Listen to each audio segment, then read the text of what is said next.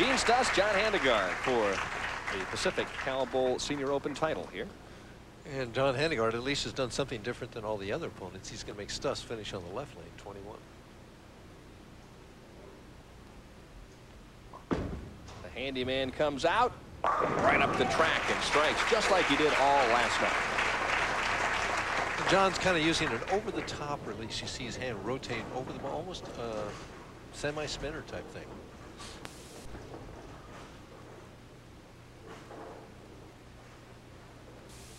Stus now has to forget about everything other than the title match. He's soft with the speed that time, and the ball bit quickly. Four, six, seven. See, then what goes through his mind right then? Is that the lane or was that me? So the next time he comes up on that lane, the tendency is to say, you know, it's the lane. I'm going to move the board left, but I really think he just threw the ball slowly. I wonder what the speed was on that shot. I think it was down less than 17. I'll bet it was too. When he shot the 300 game, every shot was over 17. Oh, he, Yeah, well, he was coming him in there by 18. yeah, the adrenaline was really flowing. He was throwing fastballs.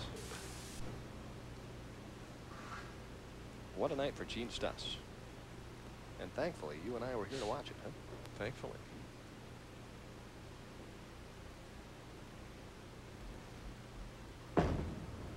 Better speed with that shot. And a nice reaction.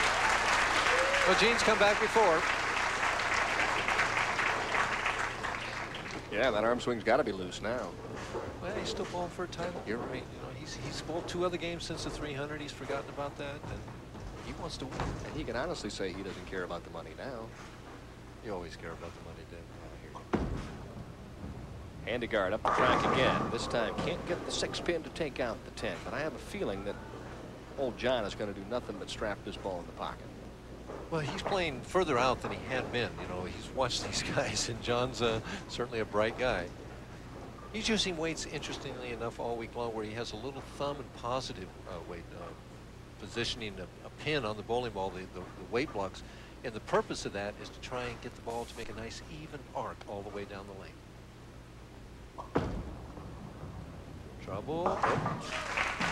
John's style of bowling is he doesn't like violent reactions. He wants an even arc to his ball all the way. Consistent. Kind of like his uh, bowling game. Mm -hmm. Consistent.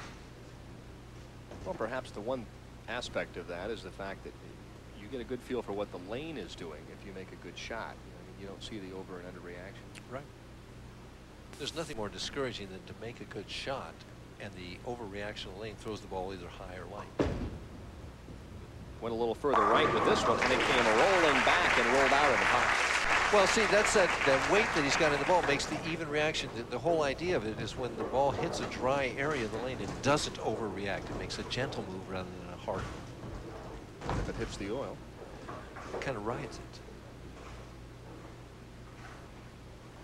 it. Further right with this shot, and a beauty it was for Gene Stus. And the speed was up. We'll never know whether he moved with his feet or not, but uh, I think he did move a little bit left with his feet. He might have, but it also looked like he, he threw that ball a little bit right, Mike, on the shots that he's gotten in trouble on the right-hand lane. It's almost as if he's pulled them. That's right. The swing bounces out a little bit at the top and heads high. Kind of like Mike also. Handegard up by one, but Stus is on a double here in the fourth frame, looking for three in a row. This guy's a competitor all the way through, I'll tell you what. Well, when you consider the fact that Gene Stus finished 27th last year at the Firestone Tournament of Champions, that says a lot for his ability. Playing against the touring players in that.